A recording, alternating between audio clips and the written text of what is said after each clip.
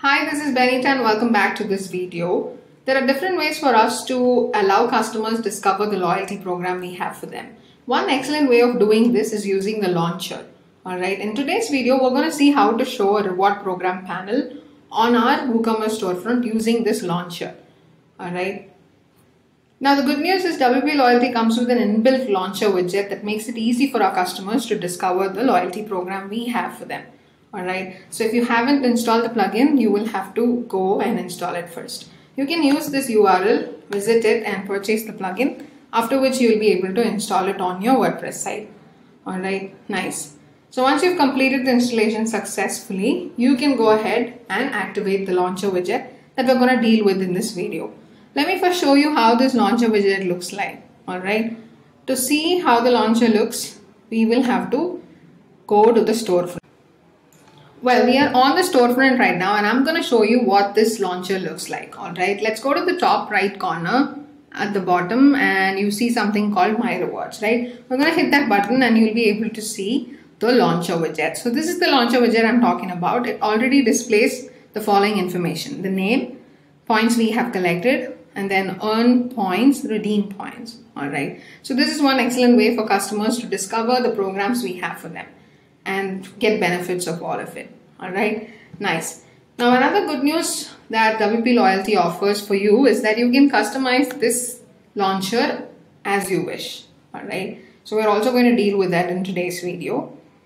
Before which I would also like to remind you that once you finish the installation of the plugin, you'll be able to see this launcher. This is an inbuilt one, so you don't have to separately download it. But make sure to activate the launcher once you install the plugin. Okay, it must be activated already, but you can also make sure if it's activated by going to the WP Loyalties dashboard after the installation and navigate to the add-ons tab which will show you the installed add-ons. So this is there by default, alright. So you can see right now WP Loyalty Launcher is activated on my store. If you do not want to show the launcher, then you can click this deactivate button. So now that I have made sure that the launcher is activated, I can go ahead and customize this one. Okay, so let me take you through the various options that are available for the customization. To customize the launcher, we will have to click on this open button. Alright. So once you click on the open button, you'll be able to see different customizations you can do with the launcher. Let's go one by one. The first one is design. It deals with logo, colors, branding, etc. Let me take you through one by one. So let's go to logo first. You can choose to either show or not show the logo. You can also update an image for this. Alright. Nice. That's all about the logo. And then for colors, you can give a different theme color. So this theme color is selected during the onboarding process. Alright. So if you wish to change it, you can also do that. You can also give a different color or text to the buttons that is also possible. Nice, isn't it? And then branding. So you can see by default, as soon as the launcher is on, you'll be able to see this watermark, right? This branding, which says powered by WP Loyalty. So if you want to, want to hide this, you can also do that. But it should be done only in the pro version. So you can use the pro version to hide this watermark or the branding. All right. Yes. So this is all about design. Let's move to the content. So under the content, you'll be able to see two different views. This is something that we need to know about the launcher. The launcher has two different views. One is for the guest user and the other for the logged in users or the member. Alright. The one that you're seeing on the screen right now is for the guest user. So guest users, when they get into your store for the first time and they click on the launcher, they'll be able to see this message that says join now. That invites them to join the program. If you click this uh, button, it will redirect you to the sign up page where users can sign up for the program and become a member. Alright, so this is the view for the you for the guest users. Now let's move ahead for the member. Alright, so for the member it looks like this. It displays the points and ways to earn and redeem along with the name, okay, which welcomes them basically. So these are two different views of the launcher that we need to know about. Okay, so let's go for, first for the guest and see what all we can customize. There are three things you can customize under this. Welcome, earn and redeem referrals. So welcome is nothing but the text, the title, the description, okay, and the sign in link, etc. Buttons, you can also use short codes like display site title, sign up URL, sign up URL, etc. right? And then earn and redeem. Here also you can give a different title for the earn part. You can also choose to have a different image. Now, right now this is the image. But you can also upload your own image. And then similarly for the redeem, you can change this text or also upload a different image for this. Alright, nice.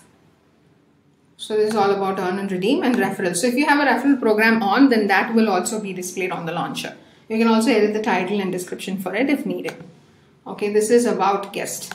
Similarly, for the member, you can do all of those three things.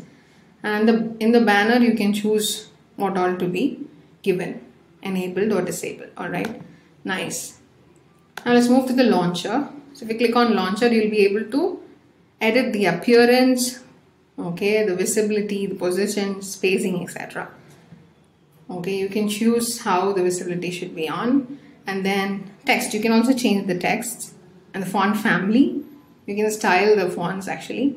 And then you can also choose different images for the icon. You can choose a different icon basically. And then visibility you can choose whether this uh, launcher should be displayed on mobile only or desktop only or both. And then position. Right now you saw that my launcher is on the right right so if I click position left then my launcher will be displayed on the left side Similarly, spacing. So all of these things you can do in the launcher. So once you have done all the things that, that is required for your customization and you have customized the launcher the way you like, you can go ahead and save the settings. Okay, you can also reset it anytime if you want. Okay, now that the settings are changed, we should be able to see the customizations reflected on the storefront.